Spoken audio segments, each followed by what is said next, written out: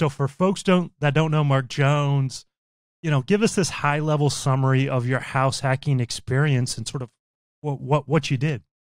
Yeah, man. So um I house hack, I kind of stumbled upon it and did it accidentally um in terms of house hacking. It wasn't coined um you know, I guess what is that 6 years ago, um 7 years ago when I first house hacked, it was coined I want to live for free. I want to eliminate this huge bill that keeps hitting my personal budget every month. Um, and I was just a young kid straight out of school working um, as a working professional. But again, doing my budget, I'm like, if I could get rid of this line item, um, I can make progress, I can make headway, and I can open up a world of possibilities. And it just so happened that I had a roommate, or excuse me, not a roommate, I had a neighbor who was moving out. He's a sharp guy, and he and his girlfriend were moving out and getting a um, renting a room in a large house. And he was saying it's a five bedroom house. We're going to cut our expenses in half um, or more than that. And um, we'll still have access to all these amenities. And he said, you should think of the same, like how to eliminate your living expense. And I was like, man, that I've already been kind of thinking about it. That'd be cool. Um, so talked to some people, talked to my dad, started researching uh, personal finance and real estate books at Barnes and Nobles. Eventually, I bought a single family uh, residence and rented out the rooms to um, young guys and gals my age, covered the uh, the mortgage PITI. Um, and it, it didn't seem real at first because I'm like, I'm working, I have a decent job, a good job, but like most of my expenses were low. I had student loans, they're low. My car note was low. Actually, my car was paid off. I have a car note, groceries. I'm a single guy. It just didn't seem real that this could work. Um, and that opened up the door to real estate, personal finance, changed how I saw things. Um, and I ended up getting the next house hack because I positioned myself with the first one.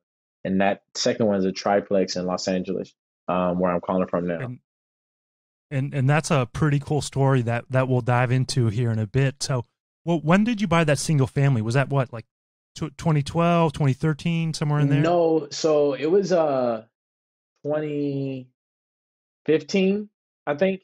Okay. The crazy thing is, uh, Andrew, I had the idea and like my dad planted the seed in my mind in 2012, but I didn't listen to him. I'm like, um, he's like, don't buy. We don't usually don't listen to our parents, right? he said, don't get an apartment, uh, buy a house. Um, you know, you can you can you can get some roommates. You know, if you don't get the roommates, it'll go up in value, whatever. I didn't listen to him. So by 2013, 2014, I started thinking like, man, I didn't take this seriously. How can I get qualified and purchase? But um, I didn't end up purchasing until 2015 and, finally bringing things together. So it was 2015.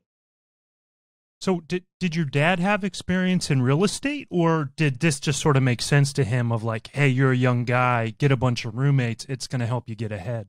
Yeah, so interestingly enough, my dad like you know, I don't know if you're like so like I don't know how familiar you are with real estate in terms of like the 80s and you know in the 70s um they the loan um, lending process, application process, way more lenient. So they had like no doc loans. They had all kind of um, simple ways or easy ways to get loans um, back in the day. So that's not why the only reason why my dad had real estate, but he had some experience in like owning real estate. Um, again, it was a lot easier to attain real estate back in the day. So um, he just always used to talk about like rich dad, poor dad, um, passive income through real estate, and so uh, he showed me, you know, he kind of planted that seed. But again, we just, you know, as a 13 year old, as a 10 year old kid, I'm like, okay, passive income. Like, I want to play video games. Like, I don't understand the what value. What are you talking about, Dad? Yeah.